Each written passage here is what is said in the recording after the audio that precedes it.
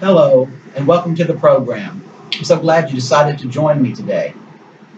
The subject of spiritual warfare is one that every Christian needs to have a, a deeper understanding about because we are in the last of the last days. We are in the last moments of the last days, and that last trump can sound at any time.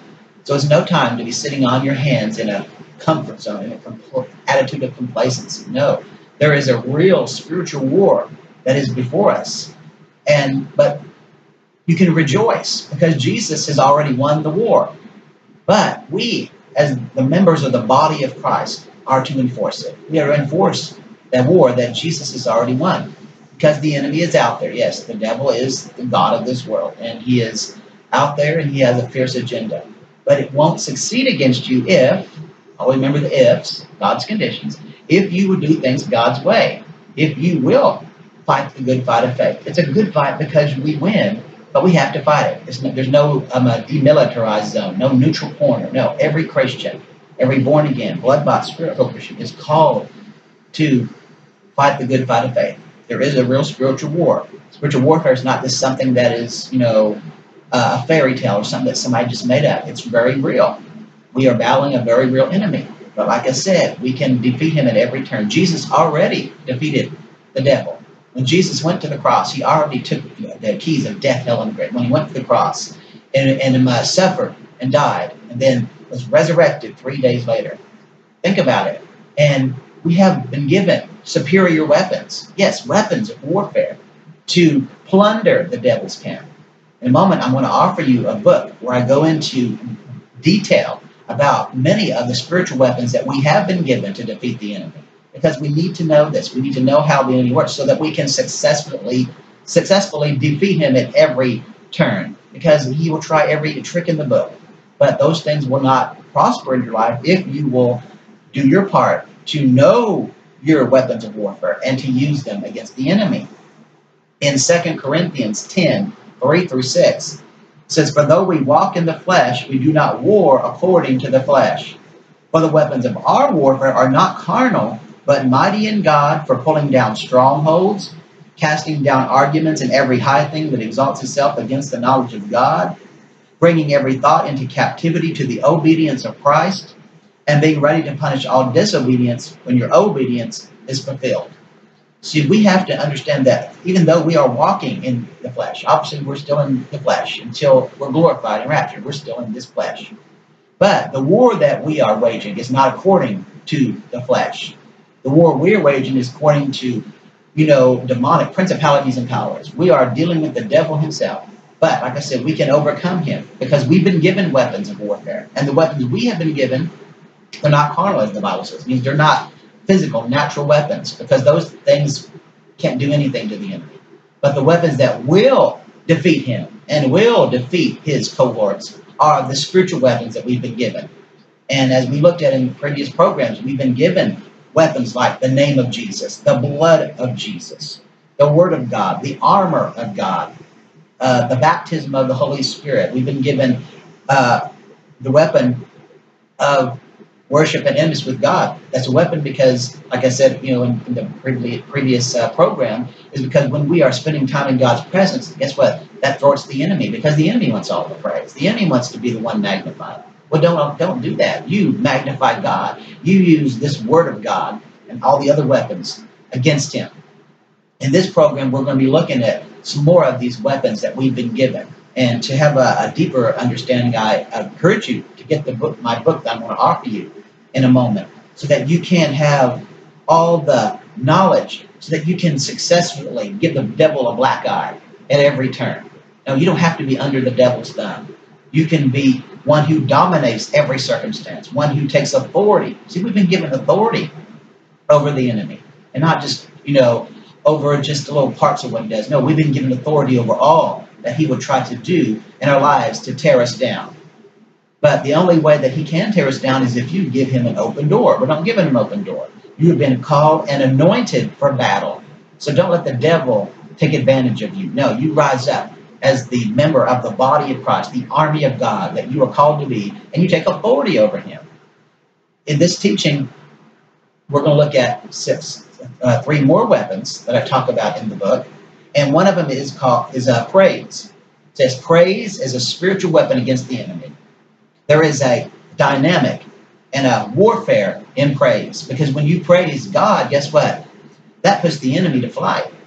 Just just like with worship and intimacy, when we are praising God, guess what? That plunders the devil's agenda because just like the devil wants to be worshipped and, and uh, lifted up, that way he also wants to be praised. Well, don't give him that that upper hand. No, you praise God, and when you praise God, that will that will just put a death blow in the enemy's face because praise is a powerful weapon we've been given to praise God because praise activates God to move in your life. That brings him upon the scene to be able to help you to overcome, to cause you to be more than a conqueror. Because praise is something that, in fact, the Bible says that God inhabits the praises of his people. And when praise to God is lifted up, guess what? The devil has to flee the other way because he can't stand. Just like he can't stand in the atmosphere of true worship, he can't stand in the atmosphere of true praise. When believers are praising God, the enemy and his demons can't stand in that place. So what so what better way that we can get him out of our business by being those who are thankful people, people who are praisers. In Second Chronicles, we're going to look at Second Chronicles, which is one of the, the greatest, I, I say this all the time, one of the greatest areas of this understanding of the warfare of praise that we that we can you, you know use against the enemy in Second Chronicles 20. And I'm just giving you head, headlines on this program. I encourage you to get my book that I'm going to offer you, Anointed for Battle, so you can have you know uh, more deeper understanding of this. But for now, I want to give you some of the headlines so you can have you know an understanding of the weapons that you've been given. Because a lot of people, you know, they say, well, you know what, I hear about these weapons, but what are they? Well, I, on this program, in my book, I want to show you what these weapons are so that you can have that clear understanding so you don't have to feel like you, you know, are, are left without. No, you've been given so many weapons. It's up to you to know what they are and to use them. You know, and that's if you don't use them, then guess what? Then they won't be able to, you know, bring the victory in their into your life that God, you know, has made them to be. Because He's established these weapons so that you can be able to conquer, to overcome, to be victorious. Second Chronicles 20, uh, verse 13 and, and onwards says, Now all Judah with their little ones, their wives and their children, stood before the Lord. Then the Spirit of the Lord came upon Jahaziel, the son of Zechariah, the son of Benaiah, the son of Jael, the son of Mattaniah, a Levite, of the sons of Asaph, in the midst of the assembly. He said, Listen, all you of Judah and you inhabitants of Jerusalem, and you, King Jehoshaphat, thus says the Lord to you, Do not be afraid, nor be dismayed, because of this great multitude, for the battle is not yours, but God's. Tomorrow go down against them. They will surely come up by the ascent of Ziz, and you will find them at the end of the brook before the wilderness of Jeruel. You do not need to fight in this battle. Position yourselves, stand still, and see the salvation of the Lord who is with you, O Judah and Jerusalem. Do not fear or be dismayed. Tomorrow go out against them, for the Lord is with you. Then Jehoshaphat bowed his head with his face to the ground, and all Judah and the inhabitants of Jerusalem bowed before the Lord, worshiping the Lord. Then the Levites and the children of the Kohathites and the children of the Korhites stood up to praise the Lord God of Israel with voices loud and high. So they rose early in the morning and went out into the wilderness of Tekoa. And as they went out, Jehoshaphat stood and said, Hear me, O Judah, and you inhabitants of Jerusalem. Believe in the Lord your God, and you shall be established. Believe his prophets, and you shall prosper. And when he had consulted with the people, he appointed those who should sing to the Lord, and who should praise the beauty of holiness as they went out before the army and were saying, Praise the Lord, for his mercy endures forever. Now, when they began to sing and to praise, the Lord set ambushes against the people of Ammon, Moab, and Mount Seir, who had come against Judah, and they were defeated. And you can read the rest of that. I stopped at 22. You can read the rest of it all the way down to 30. Think about it. It was when the, the when the uh, singers were sent out ahead of the army to praise the Lord and to worship the beauty of His holiness, that God came upon the scene and set an ambush against their enemies, and their enemies were defeated. Well, guess what? When we begin to praise God, think about it, it brings him upon the scene, and he will set an ambushment against the devil and his demons, and they will be defeated. Because that's how powerful praise is. In fact, we can praise our way into the victory. But it's not going to happen if you have your mouth closed and if you're just being one who murmurs and complains all the time. No, we're to be thankful people. We're to be those who are praisers, praisers of God. Like last time we looked at worship, we're to be worshipers of God. We're also to be praisers. Think about it. Because that will put another death blow to the enemy's agenda. Because he's out there and he wants all the praise. Well, don't give it to him. Don't give the devil praise. No, you give the praise where it's supposed to be, to God. And when you praise God, Think about it. That will bring him upon the scene, just like God is moved by our faith because faith brings him on the scene. Praise also brings him upon the scene too, because as it says in Psalm 22, he inhabits or is enthroned upon the praises of his people. And when you are in that that that that attitude of thankfulness, like I said, there is a warfare in praise, and he will come upon the scene, and that will cause the enemy to be defeated and put to flight. So yes, praise is one of the greatest weapons. I always say, I say that about every one of them because all of them are the greatest weapons. We've been given superior weapons to plunder the devil's agenda. And that's why I want you to really have a deeper understanding of this. Don't be one who is destroyed for lack of knowledge. No. And, and you have to have the knowledge of God's word, the knowledge of the weapons that he has given you. So many of them. And like I said, I go into greater detail in, in the book I'm going to offer you. So I encourage you to get that so you can have that that resource to be able to refer back to. Get your Bible and, and, and my book and just study and start understanding that you have authority over the devil. You have authority over his demons. You have authority. In fact, in the book, I go into different areas of authority that we've been given. Authority over, you know, uh, sin. Authority over poverty and lack. Authority over the weather. Authority over the devil himself and demons and so forth because we need to know this so that we're not those who are browbeaten and just left in that place where we feel like we have to give up. No, don't give up. You press forward as the anointed army of God because you have been given superior weapons like praise. Another one is Psalms 149, 5 and 9, 5 through 9, excuse me. It says, Let the saints be joyful in glory. Let them sing aloud on their beds. Let the high praises of God be in their mouth and a two edged sword in their hand, to execute vengeance on the nations and punishments on the peoples, to bind their kings with chains and their nobles with fetters of iron, to execute on them the written judgment. This honor have all of his saints. Praise the Lord. Now think about it. It says that when the high praises of God in our mouth, as God's saints, his mem- the members of his body, praise on our lips, coming out of our mouth in faith. It says that it is like a it's a two-edged sword in the hand, just like the Word of God is is a two-edged sword. Well, the Word of God and praise coming out of our mouth. Think about it. That's double ammunition against all the forces of darkness. Think about it. We are to execute this. That's how we execute vengeance on those uh, demonic forces and principalities that come against us by speaking God's word, by being those who praise God. And when we praise God, think about it. It brings him upon the scene, like I said, and it will cause the enemy to turn the other way. He's defeated. His plans are destroyed because he can't stand in the atmosphere of praise that's lifted up to God. Because Satan, who was originally Lucifer, fell because of pride. He wanted to be exalted above God. He wanted all the praise. He wanted all the worship. He wanted to be, you know, the one, the, the, the big guy. Well, it didn't work. There's only one, you know, who is the true God, the true and mighty risen God. And there is no other. So the enemy was cast down. Lucifer was cast down and became Satan. And ever since that time, he has concocted an agenda to get you off course, to take his bait, to try to be, you know, lured into his web, his web of deceit and and um, uh, all kinds of just junk. Well, don't allow that to be something that is a part of your life. Don't allow yourself to be moved by every wind of doctrine, by every you know, uh, whistle and trolley cart that comes along that looks like it could be something right. No, the enemy will appear as an angel of light. That's why we need to know how he operates so that we can successfully defeat him. Because spiritual warfare was only going to be successful when we do it God's way and when we understand who we are in Christ and the weapons we've been given, as such as praise. Another one of the weapons that we've been given, the weapons of warfare, is the prayer of agreement.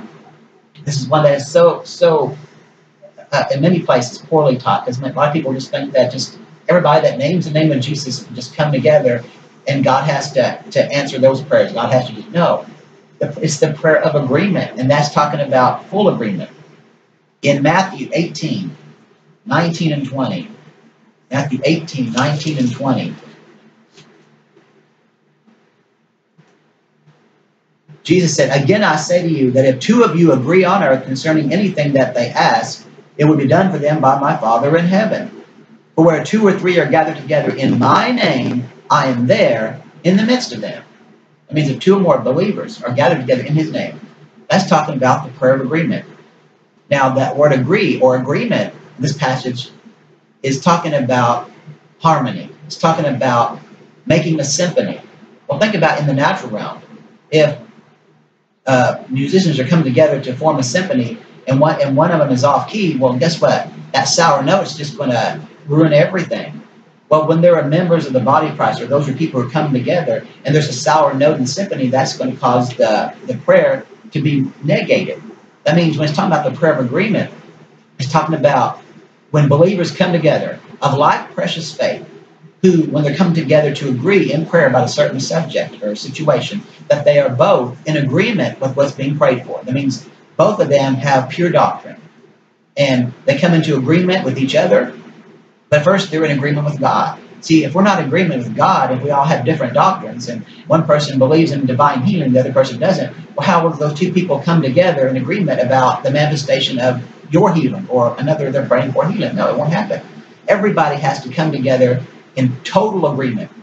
But not only what's being prayed for at the moment, but the entire Word of God. If somebody comes into so called agreement with another believer, but the other believer has false doctrine, then guess what? That's going to negate those prayers. That's why a lot of times prayers go unanswered because there's not full agreement. Like I said, we have to come into agreement with God, His Word, and His Word, which are one and the same, and then we come into agreement with each other those who are on the same page as we are, those who are in agreement with the full counsel of God's word. And when we do, Jesus said, then I'm there in the midst, because that's how you come together in his name. When you are in total harmony, you harmonize together and you form that supernatural symphony. There's no sour notes. And guess what? He said it shall be done, because that's full agreement. And that's how we can give another, you know, uh, sock in the devil's face, is by coming into agreement with God's word. He says, when you agree concerning anything, or as the King James says, as touching anything, and means whatever you come together and grasp, a hold of, surround. He said, Jesus said, it shall be done. It shall. He said, for where two are gathered together, or more gathered together in my name, I'm there in the midst. If they agree on earth concerning or asking anything, it shall be done by the Father in heaven. That's talking about true agreement. And Amos says, how can two walk together unless they're agreed? It's not, well, you know what, well, I believe in healing, but the other person doesn't, but that's the person you want to come together as a prayer partner? No. We have to choose our prayer partners wisely. We have to be in agreement.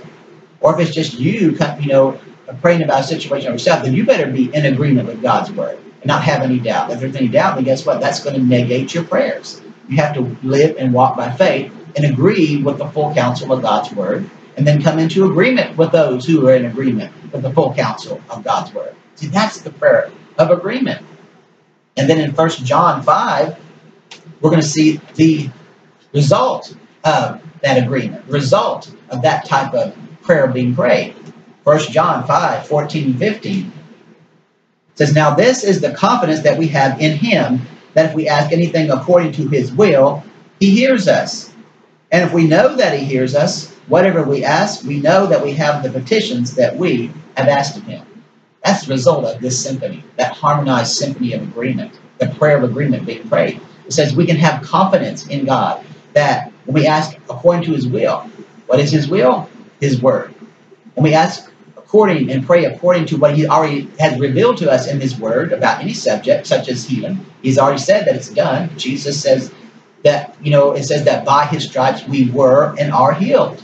That means if we were and we are, we still are. So you can come into agreement that Jesus has already paid for your healing or whatever area because it's in his will. It's not like these people say, well, Lord, if it be your will, heal me. No, that is, uh, that is a recipe for disaster. No, he's already said it's his will. And his word is forever settled in heaven. To never pray prayers that say, if it be your will, when it's something that's already said in his word that it's already his will. That's why a lot of people never see answers to their prayers because they're praying prayers that that that that God can't answer. It's not that He, you know, is not able to answer prayer. Yes, he is. But if you're praying things that are contrary to his word, things that are in doubt and unbelief, then guess what? He, he can't he can't answer those prayers because he won't do it because he will never violate his word. But when you pray what he's already said to you that is yours in his word, guess what? He will do it because that's it's a promise, and he'll never go back on his promises. God is not a man that he should lie. He is absolute. And when you pray according to his will, his word, come into agreement with it, guess what? It will be done. Not my, it will. That's why we need to have that understanding of this uh, weapon of the prayer of agreement. See, a lot of people don't realize it's a weapon. It is because when believers, and the more you come into agreement with each other, that unity, the Bible says there that that the anointing is present when uh, brethren dwell together in unity. It's like you know the anointing, the oil of the Holy Spirit going from the top of your head right down to the very soles of your feet. Read it in Psalms 133. And in that place of unity is God's commanded blessing. Think about it. So, yes, the prayer of agreement is a spiritual weapon that we can use against the enemy to defeat him, to plunder everything that he has out there to try to, like I said, get you off course. So, we need to understand this. I go into detail greater depth on all these subjects in my book, going to offer you. Uh, another one of the weapons we've been given is, which also actually goes together with the prayer of agreement, is binding and loosing. And just before that verse we read in Matthew, it he talks about binding and loosing. But even before that, the first time he mentions it in uh, the understanding of, of, what it is, as we're going to see um, uh, in Matthew 12 in a moment, but in Matthew 16, let's just go there, 16, 13 through 19, we see what we have been given as keys of the kingdom. He says, And I will give you, Jesus says, and I will give you the keys of the kingdom of heaven, and whatever you bind on earth will be bound in heaven, and whatever you loose on earth will be loosed in heaven. But notice in that scripture, and also in Matthew 18, 18, we have to do the binding and loosing. God's not going to do it for us but he will back us up. Means whatever we bind is bound. Whatever we loose is loose. See, a lot of people want to just put all the responsibility on God and think that they're not supposed to do anything. They're just supposed to sit back and all these things are to fall in, in their hands. No, we have to do our part. We've been given that free will, but we need to use it. We need to use our authority. He says, I'll give you the keys of the kingdom of heaven. And whatever we bind on earth is bound in heaven. Whatever we loose on earth is loosed in heaven. And we have to understand that that uh, there are three heavens. There's the first heavens, the you know the atmospheric heavens. Then the second heaven, which is the wicked heavenly. That's that lower rung that that is marked out. That's you know where our all our problems are coming from. That is where hell is. That is the wicked heavens. That's where Satan, the prince of the power of the air, and his principalities and powers and mights and dominions stuff, they operate in that area. And then way, way, way above that is the third heaven. That's God's perfect heaven. So we're not binding and loosing there. No, we are binding and loosing in the second heaven because that's where the source of our problem is coming from. Where the enemy is dwelling. And he sends his demons here on the earth too because they're looking for a host. They want to try to see if the heaven opens so they can come in and wreak havoc. That's why we need to understand that we've been given the keys of binding and loosing as a spiritual weapon. We have to bind the enemy. And once you bound him, or any foul spirit. And I go, I'm not going to get into a lot in this program, but when you get the book, I go into detail of what the understanding of binding and loosing is and how that we, once we do that, once we do bind a certain foul spirit, then we have to also loose the opposite. Because a lot of people bind, but they forget to loose. Well, if you bind, say, for instance, a spirit of infirmity, you need to remember to loose the gifts of healing. See, for every foul spirit that you bind, you need to loose the opposite means you need to loose, you know, God's perfect will into the situation. See, that's another aspect of binding and loosing that a lot of people never really have an understanding about or they've been poorly taught about. In Matthew 12, as I mentioned a moment ago, verse 29, Jesus says, Or how can one enter a strong man's house and plunder his goods unless he first binds the strong man, and then he will plunder his house? First, we have to bind the strong man. The strong man, that is the root spirit. A lot of times people just get to the lesser ones, but they never get to what I call the head honcho. Well, we need to get to the head honcho. We need to bind the, the, the root of it. And then we can start dealing with the lesser ones. But until you get the root of it, those lesser ones are just going to keep multiplying and multiplying. No, we have to bind foul spirits because the devil has sent so many of them out there to try to destroy your life. Well, you have authority over them, the authority of the believer to trample upon all the enemy's forces of darkness, and nothing will hurt you. Why? Because you are going in the strength and the anointing of the Lord Jesus Christ. So we have to understand this. We've been given keys.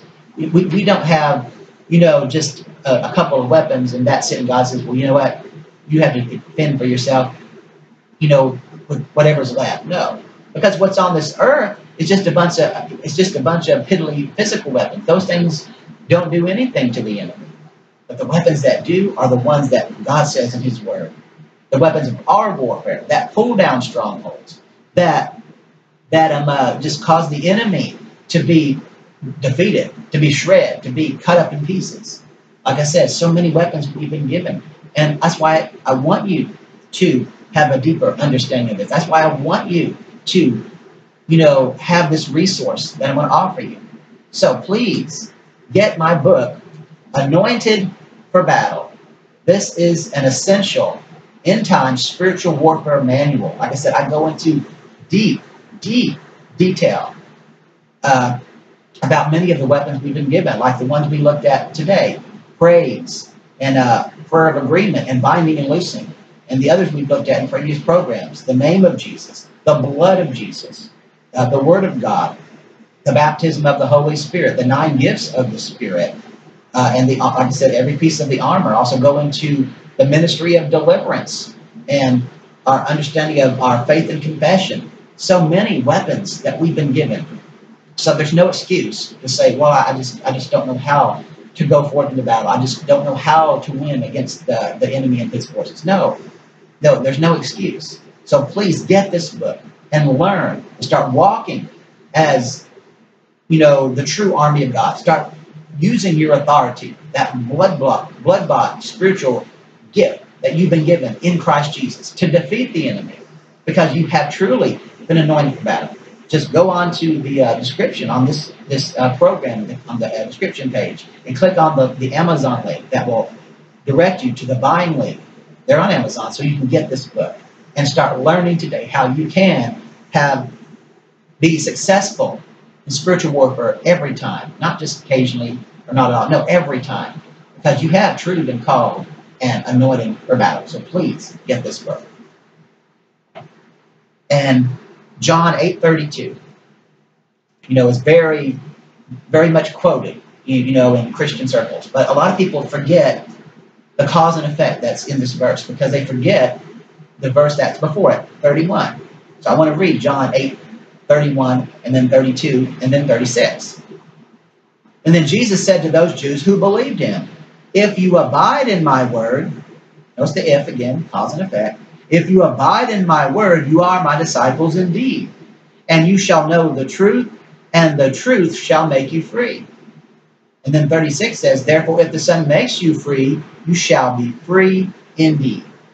Free indeed. But a lot of people says, How, it's like, oh, you know what, I, I know that stuff, but I'm still going through, you know, different things in my life. I'm still going around mountains. There's still still have the devil, you know, you know, just always in my face. Well, there's a reason. There's something that you've allowed. Why? Because if you are truly free, then guess what? Those things are not, but yeah, they're going to come. They're going to try to attack you at every turn. Doesn't matter who you are. But if you are truly in that place of freedom, then those things won't, you know, uh, affect you in the sense that they won't get you down. They won't prosper in your life oh yeah, they'll try to do everything they can to tear you down, but guess what? You'll just laugh in their face. The reason is because a lot of people forget, like I said, that Jesus preached cause and effect. He says, if you abide in my word. So there's the key. You have to abide in God's word. He said, then you're my disciples indeed. And the truth that you know means you know it, you walk in it, you put it into practice, will make you free. And you will be free indeed. See, it's the truth that we know. It's the truth we walk in. See, just saying, oh, yeah, well, I heard that man talking about, you know, the spiritual weapons. And yeah, yeah, yeah. But then you go about and, but you never use the weapons. You just hear a bunch of messages about the weapon, but you never use them. You never put them into practice. That's why you're not free, because you're just, you know, hearing a, a lot of things, but you're not being doers of the word. Well, in James, it says that we're not to just be hearers, but we're to do the word. First, we hear it, absolutely, because faith comes by hearing and hearing by the word of God. Not having had heard once and then just forget it. No, we have to hear and hear and then do and do. That's how we're going to be made free by continuing to abide in this word. God's word is his will. And when we walk in it and when we apply it, guess what? That's how we're going to be able to have success in spiritual warfare and success in just our everyday walk of faith. So we need to get this. We need to understand this. So don't be allow the devil to cheat you out of your full inheritance in Christ. Don't allow the devil to put all this garbage on you to make you feel like you know you just have to give up. No, don't give up. That's what the devil wants. That's what he's counting on. No, you've been anointed for battle. And like I said, Jesus already won the war, but we have to enforce it because we're still in this world and the devil is still out there raging and doing what he does best, which is to prowl around like a roaring lion, seeking someone he may devour. That means he needs your permission. Well, don't give him your permission. You rise up and take your rightful authority over him because that's who you are in Christ. You are more than a conqueror. You are an overcomer. You are the head and not the tail, above and not beneath. You've been anointed and equipped for battle. So don't stand in a, a comfort zone. Don't stand in a place of, of feeling like you, you just don't know what, which way to turn. No, God's word will show you which way to turn.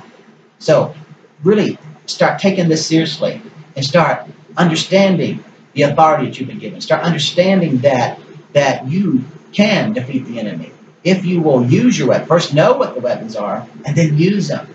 And that's how you're going to be successful in your Christian walk and in spiritual warfare and any other area of life. So please take this seriously. And please order that book so that you can have that resource to help you and to equip you to move forward as a member of the army of God. So please really take this seriously. And always remember Isaiah 40, verse 8. The word of God stands forever. Amen.